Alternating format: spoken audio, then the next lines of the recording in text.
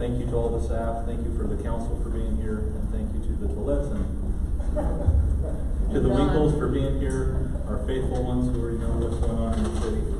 Uh, we're, we're going to go ahead and go through this presentation. We are gonna do a little different format than what we had originally planned. Uh, this was going to be an interactive opportunity for our citizens. Uh, instead, what we're going to do is we're just going to do the presentation, uh, record it, and then if there's any questions, please feel free to ask them, and we'll do our best to, to address those. Um, we also have our department heads up here who are more than eager to answer any questions that you might have. And so, uh, we're going to try to have this as a, uh, a follow-up meeting, same format at a different time. Hopefully we'll, uh, get a little bit better turnout. Uh, does anyone have any questions before we get started? Would anyone like translation into Spanish? Because we also have that available. I would. Of course, Alan. You just want to make this easy. All right. We ready? All right. Well, welcome everyone uh, to discuss our 2019 community survey results. Can everyone hear me all right? Do I need to speak louder? Is that all right? Okay. Very good. Uh, this was conducted last summer, uh, online and via paper. Uh, we did not have quite the turnout we had hoped, uh, for this, but we did get some good quality feedback that we were hoping to elaborate on further tonight, uh, to get some deeper detail as to what, is the expectation from our citizens. So tonight we're going to go over kind of four different categories. What were the results of the survey and what information did we glean from that? And how are we going to address those issues? And uh, did it just evoke more questions than it did answers? So here's what we know. Uh, we broke down the responses into three tiers based off of uh, the priority that our citizens put them in. The first tier is high importance. With that, uh, you see a lot of focus on our infrastructure. Uh, our citizens want to see good streets, safe sidewalks. They want to be able to uh, turn on their faucet and have clean water and flush without having any issues on the other end. Uh, they're also concerned about economic development, the financial management of the city, as well as our trash collection. And uh, I would say that all of those are pretty essential to how cities run, function, and the ease of life for people. Nobody likes to have trash piling up. Nobody likes to have backed up sewer. Uh, everyone likes to have clean waters, clean water, and uh, a good, clean city. Uh, those that uh, kind of fell into the middle category uh, include some of our services, uh, fire and ambulance. And I believe some of the reason that this may have fallen into the second category is because they're already doing a, a good job. So it is very important, but maybe not the highest uh, priority. Uh, public communication. Uh, we hope that this meeting, as well as future meetings going forward, as we try to reach out to the public and get them to come out and participate and let their voices be heard, we hope that we can do better in our public communication.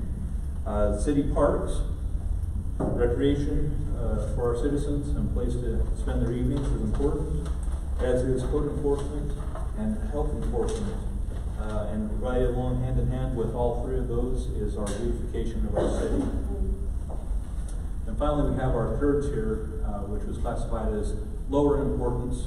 Uh, with that, we have the CJC, uh, which is a, a good service that our community provides that not many people realize. And unless they've uh, used those services, they probably don't have any reason to chime in on them.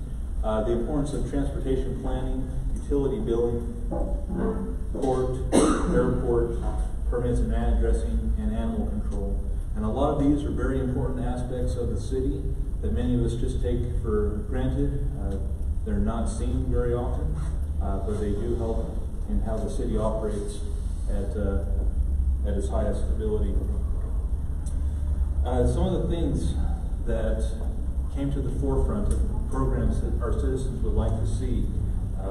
As you can see, more than 50% said that we should be providing uh, more parks and recreation programs, that we should be providing recycling, as well as multi-item pickup and removal. We also uh, received responses that housing, traffic, and infrastructure, also if I click that one as well, are, are some of the most important things for our citizens. Uh, housing and traffic, I think everyone can agree. Uh, we have been hit hard by the rapid growth of the oil field, which has benefited the city in many ways, but has also caused uh, some issues for people trying to get around town and uh, finding places to live.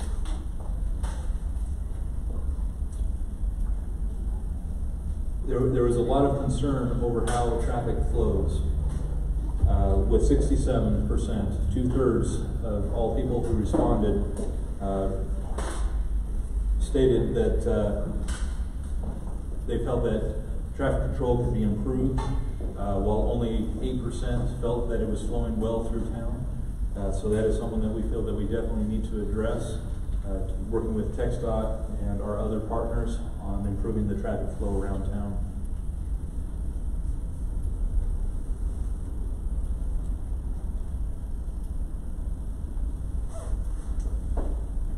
Uh, safety of our citizens is also something that uh, jumped out at us as a part of this result uh, of these of this survey. In that uh, about a third of our citizens do not feel safe while traveling through town uh, or in public spaces, and so we definitely want to uh, bring that to the top of our our list of things that we are paying attention to, so that we can make Pecos a safe place for everyone uh, both in reality and in perception, so that they feel safe when they're out.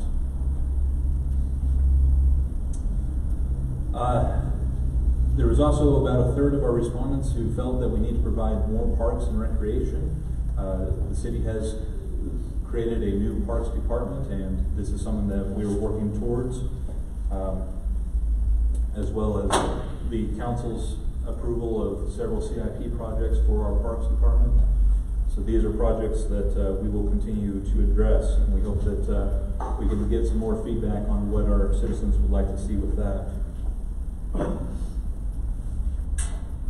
Nearing the end. I know this is going kind of quick, but we're nearing the end. Uh, 71% uh, feels that code enforcement needs to work a little bit harder on debris on private property and illegal dumping around the city.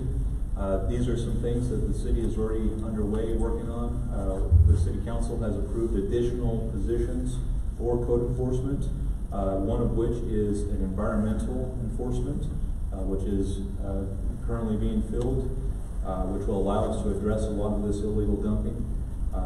if there are specific items that our citizens would like to see, we, we definitely want to hear from them.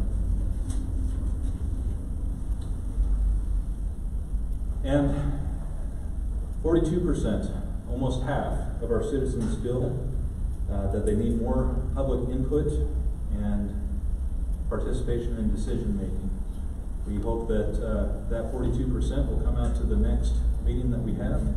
Uh, as you can see, uh, I'm not sure forty-two percent of our respondents are here tonight, so we hope that uh, we can get the word out and make sure that they feel that they are welcome to come participate, have their voice heard.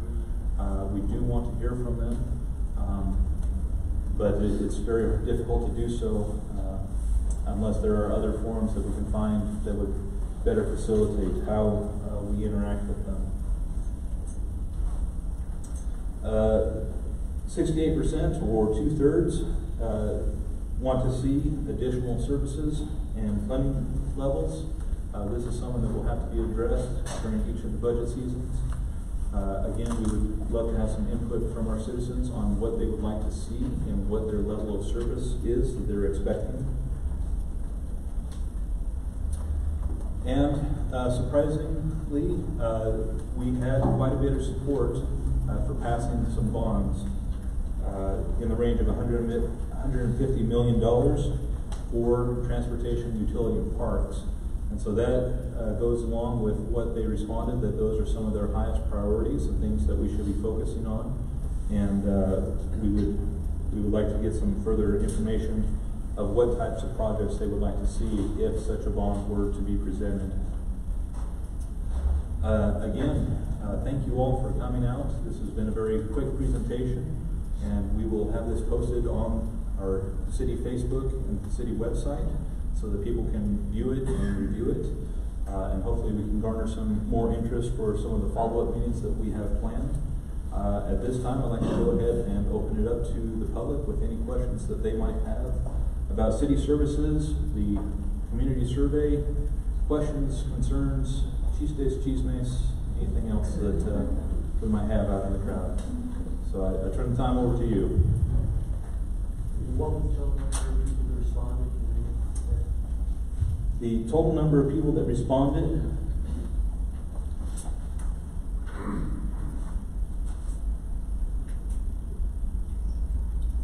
Find the right number.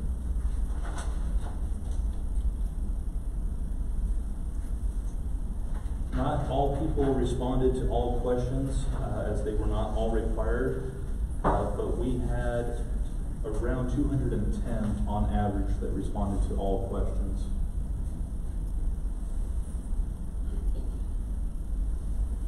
Mr. Gillette? I don't have a question, I would like to make a statement, uh, since this is gonna be broadcast out. Forty-two percent wanted more input into city government, you ain't gonna do that sitting at home. City council meeting twice a month, there's meetings like this, whenever y'all can get them arranged, and you see the kind of turnout.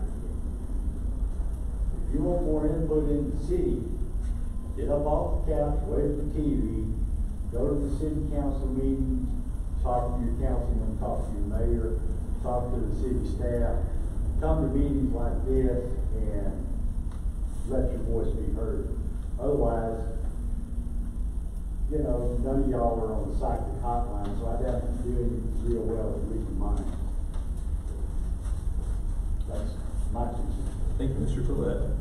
Any other comments or questions from our audience or from our department heads, anything that they would like to state for the video?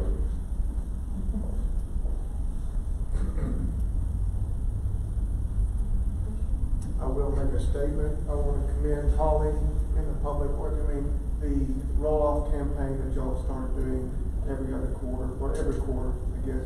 It's been now for two years, Holly? The, the Pecos Cares roll-off? Yes. Is actually every month on the third Saturday, Okay, I thought it was, okay. and then we have our community cleanup, which is twice a year. Okay.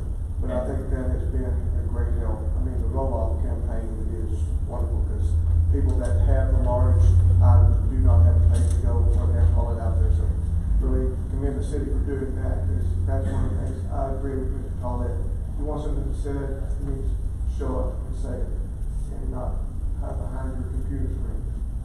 Thank you, Mr. Winkles. But actually, um, our roll-off campaign is actually managed now by our code enforcement department and, and chief building official, Johnny McKinney.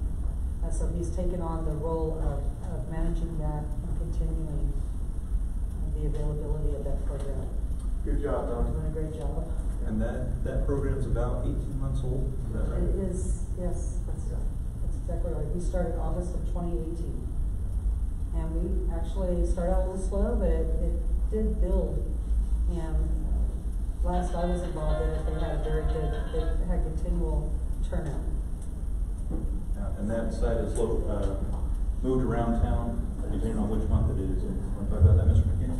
Absolutely. Um, the last one we had, we had three roll-offs filled up, so we are getting a lot of participation. Hopefully you see that in the community, that it's being cleaned up. Um, in February, it'll be on the south side, so over on Stafford and Cactus and Stafford and More. more. So, uh, if you have, and you don't have to be in that area to, uh, bring stuff out. It it Saves you some trip to the landfill, a little bit anyway. Yeah, that's exactly right. So regardless of what neighborhood it's located in that month, uh, anyone across the city, uh, as long as they're a private citizen, uh, businesses still need to use the, uh, the manners that they have available to them. Uh, but you can take it to any of the sites anywhere across the city. We just move it around so that it's a little bit closer for certain neighborhoods, uh, during that specific month. Any other questions or comments? I got a comment, Conrad Saldana. Uh, I wanna come in down here, I see their, their trucks there all over town. And, uh, it, you know, our town needs cleanup. We got a lot of buildings still standing up, especially down thirteen that need to be, uh, cleaned. Uh, but one of the things I really like seeing is the books. I really like those things. I like reading, you know, what kind of theme they got. Uh, you know, Dessa was a jackrabbit. And, uh, uh, I was, you know, Dessa thirty-five years and now we got it here in Pecos. And I really, uh, I really think that looks, that looks neat when a business like, like the one we have in front of the city hall and, uh, Dairy Queen, I think I've read that one, I think ten times, every time I go over there, I'm, I'm reading the same thing over and over, so. But I just wanna comment that, that, that looks, that looks nice. And I really like the, the way the, the parks are coming around.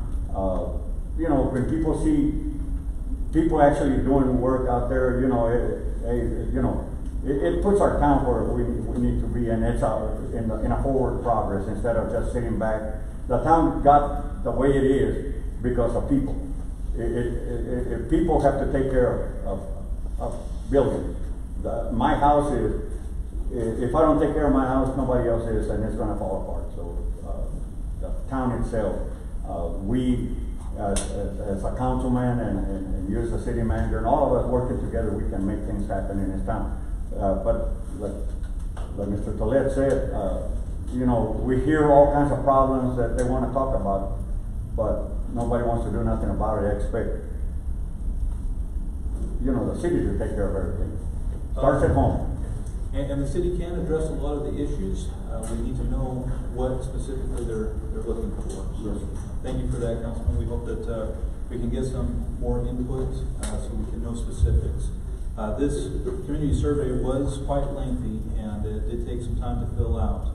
And so those, uh, that did fill it out are to be commended, uh, but we would like to hear from them again. We'd like to get some more specifics that this survey, uh, really did not lend itself to, as it was multiple choice and a few, uh, where they could fill in, uh, their comments, uh, but we'd really like to get some, some deeper dives on some of the information.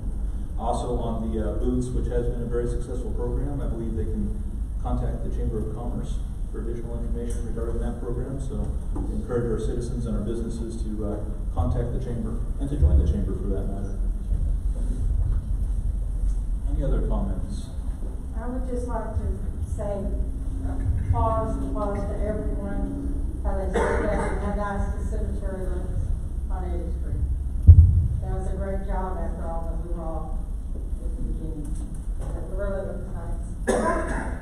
Thank you for that.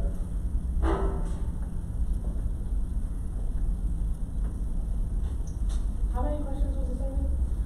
Fifty questions? It, it was quite lengthy, and it had to do with everything from, uh, basic services, uh, priorities, uh, what they would like to see, uh, as new programs or services, uh, how they felt that we were doing with the services that we were, that we are providing. Um, as well as uh, some other information or other questions about uh, how the city communicates, uh, the manner that it communicates, how well it communicates, uh, customer service. Uh, It did have a few questions regarding bonds, if there were any interest in supporting um, additional funds for large projects. Um, And so it it was quite lengthy. One of the things that uh, we will be working on to address that, and actually it is occurring next Tuesday at City Hall, as people uh, come in to pay their utility bill, uh, we're gonna have a short four or five question uh, survey, which is just a a micro snippet of this one uh, that they can. Monday. Is it Is it? Monday? Monday, I'm sorry, it's Monday. Thank you for that correction. Uh, where it'll just be a, a quick five questions. It's also available on our different social media that people can answer that. Um, whether they're coming in to pay their utility bill or not, they're welcome to stop by. Uh, there'll be uh, department heads out to answer any questions throughout the day, and uh, it will be a good opportunity, uh, again, to seek some additional feedback. Could you, uh, talk a little bit about what, Frank Spencer and the guys had to say last night about, uh,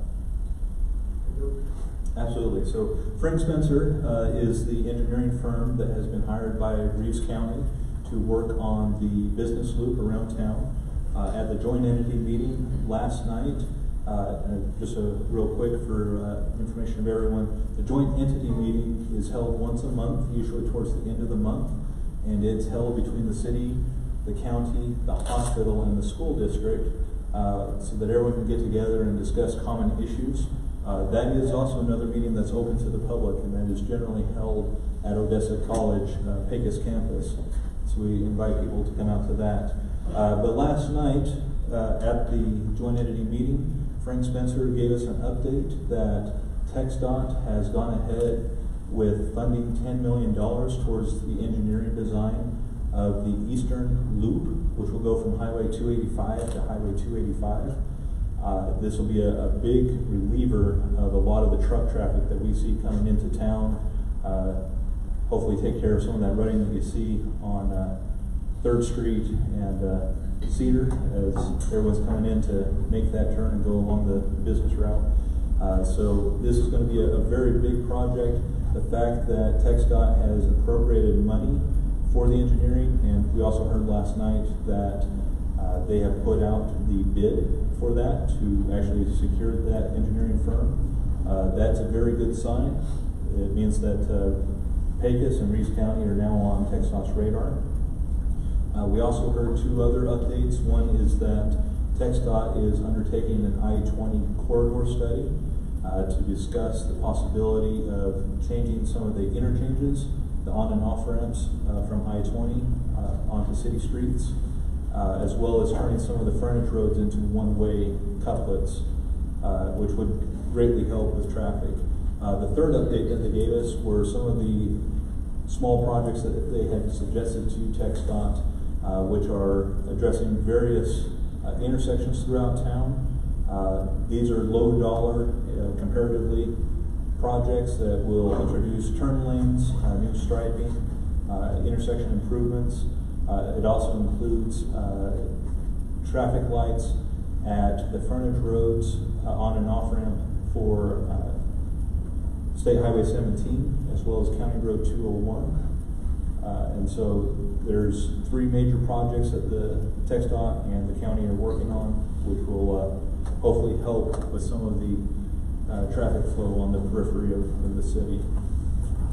Just on two of them, still looking kind of not connect up, uh, uh, Stafford Boulevard, two oh one, city, and Boston. Yeah, so the question is, are we looking at uh, uh, straightening out or putting, aligning them, uh, Stafford Road and County Road 201? And that's correct, uh, the city is continuing to look at that. Uh, The surveying has been completed or almost completed on that project. And uh, we're working on contacting the landowners to see if we can acquire the right-of-way. Oh, they talked about Tolliver Street last night, recreation center. Are you also looking at, at a bond in the past? You're also looking at taking Tolliver out to, uh, Henry one eighteen, where's, where's that? The road that hill, landfill, um, So, so the question is, uh, the road, I'm sorry, I'm just repeating for the benefit of the video. Uh, the, the question is regarding, uh, the improvements on Tolliver Street out by the new rec center, as well as the potential of looping that back onto County Road one eighteen. Uh, that is a project that, uh, has been included in the city's long-term transportation plan. Uh, and the county, as they mentioned last night, is interested in, uh, jumpstarting those conversations. And so it does fit into the city's long-term plan. It is on that, uh, our approach, our long-term approach, and, uh, we will be working with the county on that. front.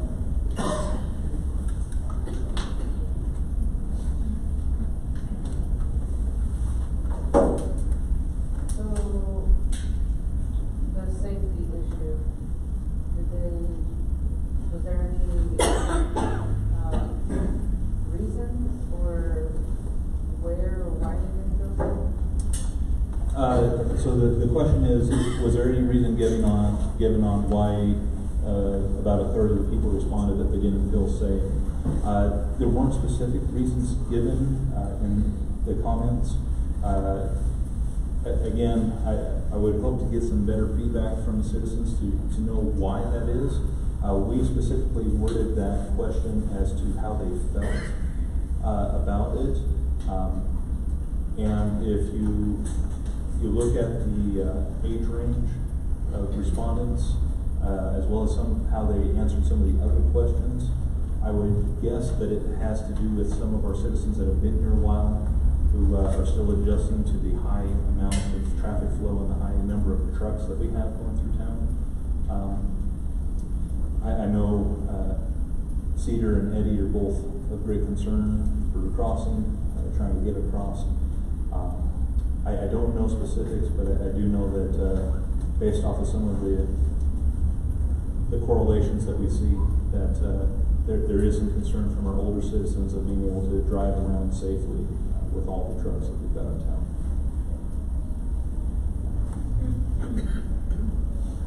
Councilman? The, uh, on, on that, on that note about the, the traffic on Cedar, you know, uh, just crossing over the, uh, I think the flashing lights there by the, by Alfredo's and Aaron's, those, are- those don't come on until probably about seven thirty in, the- in the morning. But before that, the traffic there, you know, from the people going, going to and from work, the eighteen wheelers, uh, they still, uh, they're still flying by there. And it- it's, when they hit Third Street, and the red, that red light becomes green, it's like a race to, to, see who can get quicker south or the other direction. And the, the reason I'm bringing it up, the other day, my, my wife was going to pick up the boys, and she's in the turning lane. Well, she had an eighteen wheeler on the turning lane coming from the opposite direction, just to, because somebody was turning into Alfredo's to go eat, and he didn't wanna wait, so they, they actually took the, the, the meat. And she's standing there watching this eighteen wheeler hit her way. So, uh, you know, there's kids in those vehicles, you know, and, and this- this guy, I, I would suggest, uh, just a suggestion, maybe putting those flashing lights a lot earlier, like at two thirty instead of, or at seven in the morning. Because, you know, I take my, my grandson to school at seven ten, and those flashing lights aren't on. So, uh, and then they don't honor them a lot of times, so I'm just, I'm just kinda curious if we could change the time on that to a little earlier, maybe it would slow them down a little bit, but knowing that those flashing lights are, are already on. Yeah, I, I believe those flashing lights in particular have to do with the school zone. Yes. Is that correct? Yes. Uh, Around Seventh Street there, um, by Aaron's. Yes. Yeah, and, so that is actually controlled between the school district and TxDOT. One of the things that, uh, we